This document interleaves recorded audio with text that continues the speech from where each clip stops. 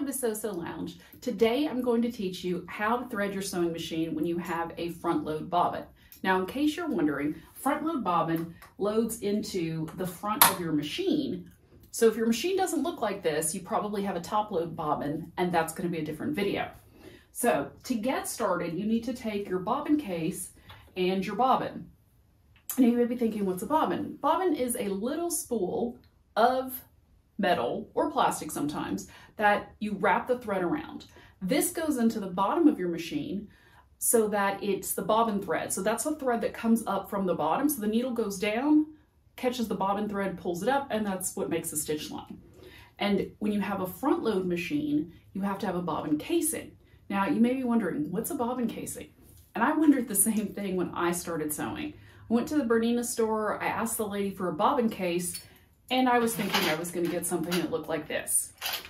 Imagine my surprise when I got something that looked like this.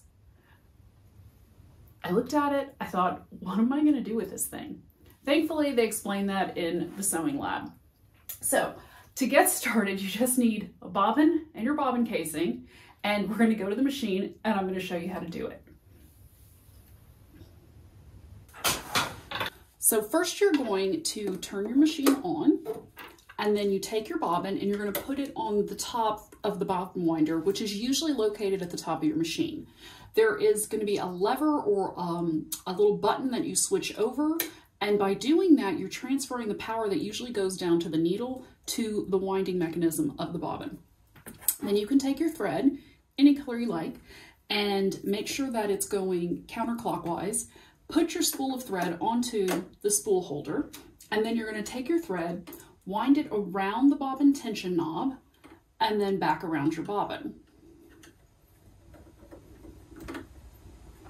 And then you can hold that thread in place, apply pressure to the foot pedal, and start winding. It doesn't always catch the first time, so you may need to wrap the thread a little bit and start again. There we go.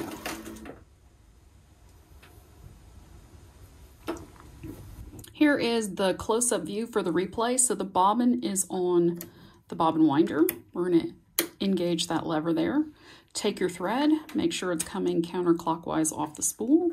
We're to go around the bobbin tension knob and then back over the top of the bobbin. Wrap the thread around a couple of times. And then I'm gonna press that foot pedal and it's catching. Let go now. There we go. Good job.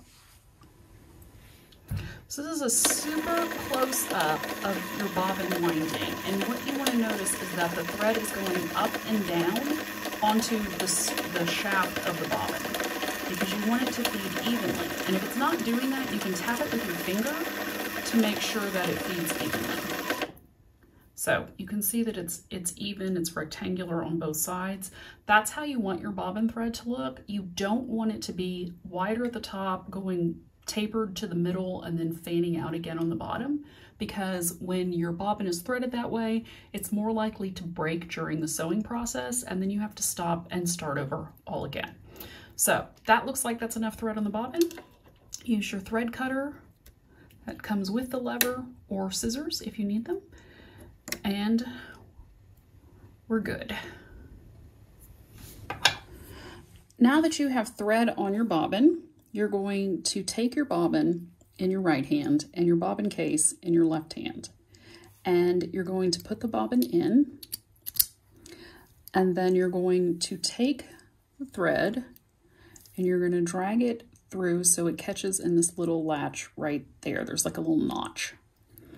Then you're going to drag that thread underneath this little arm here and then pull it out between these two little arms. So it looks like this.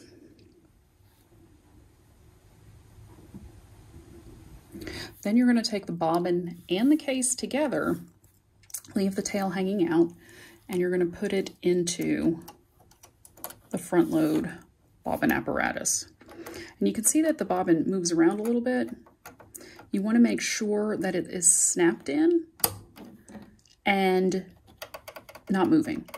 Every bobbin goes into a front load machine a little bit differently, so check your manual if yours is sliding around too much and it's not fixed. Now, we're gonna go up to the top thread and I'm gonna show you how that's done. If your thread is still around the bobbin tension knob, you wanna just pull it off. If it's kind of long, you can turn the spool a little bit, get some of that thread back on there. Then what you're gonna do is you're gonna take the thread and you're gonna run it through the first tension guide, which is at the top of your machine.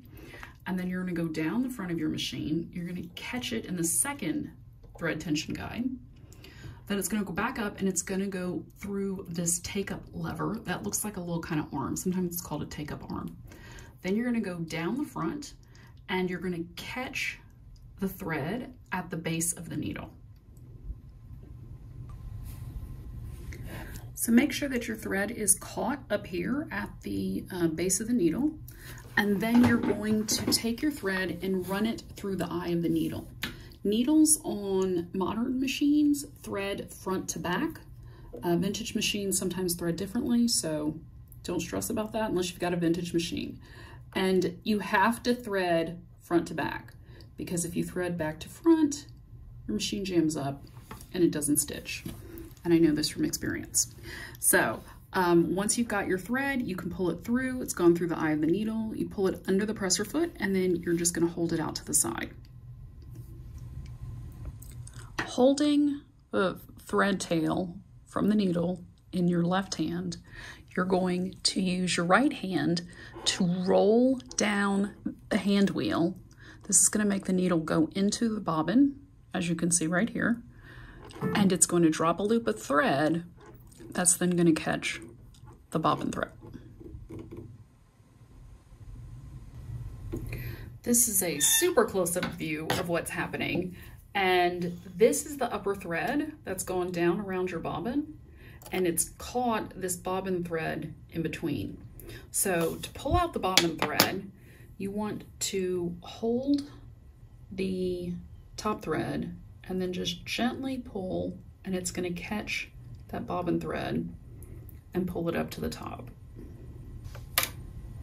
So I'm pulling that thread and as you can see the little thread loop just popped up under the presser foot and you can take some scissors or pencil or whatever you have and you're going to grab that little thread loop and you're to pull it. And now you've got the bobbin thread and the needle thread both coming out of your machine. You're going to pull them both towards the back, close up the front of your machine, and you're ready to start sewing. So that's it. Now you know how to thread your machine when you have a front load bobbin. It's not really that complicated once you know what you're supposed to do. And if you forget, you can always come back and watch this video again. And if you've enjoyed this video from Sew Lounge, be sure to subscribe by clicking the button below and head on over to sewsewlounge.com for the latest tips and techniques to learn basic sewing skills and build a foundation to sew whatever you want. Happy sewing!